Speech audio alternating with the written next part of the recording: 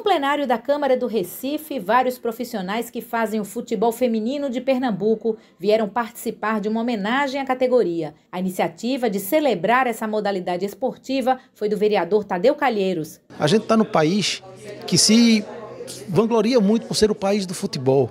E temos um dos maiores nomes, se não o maior nome do futebol feminino de todos os tempos, que é a Rainha Marta.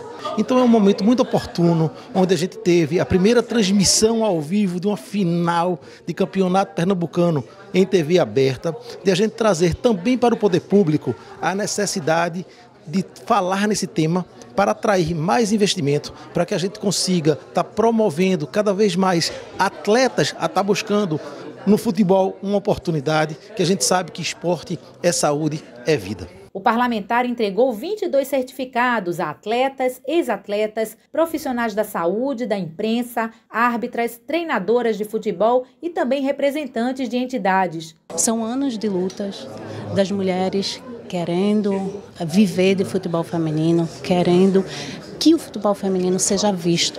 A gente está a alguns passos já de glória mas ainda não é o suficiente. Ele ainda vai ter que chegar um pouco mais. Tadeu Calheiros entregou ainda uma placa comemorativa a Janira Ricardo, conhecida como Nira, que é uma das grandes referências do futebol feminino no estado. E fazer parte desse evento aqui é muito importante, não só para mim, mas como a modalidade, né? Porque a partir da hora que tem alguém que abraça a causa, então nós nos tornamos mais fortes aqui e estamos precisando levantar o futebol feminino dentro do estado de Pernambuco. Esse ano, a 21ª edição do Campeonato Pernambucano Feminino aconteceu na Arena de Pernambuco e a final foi transmitida em TV aberta pela primeira vez. A disputa aconteceu entre o Náutico e o Esporte, que saiu vencedor da competição. O futebol feminino de Pernambuco é realmente muito forte. As mulheres de Pernambuco têm uma garra excepcional.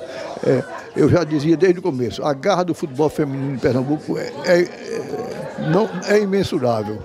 E nós precisamos acordar para que as mulheres tenham também seu espaço, seu espaço no futebol. A solenidade foi presidida pela vereadora Ana Lúcia e teve ainda a apresentação musical de Fabrício Oliveira. É preciso ter cuidado para mais tarde não sofrer.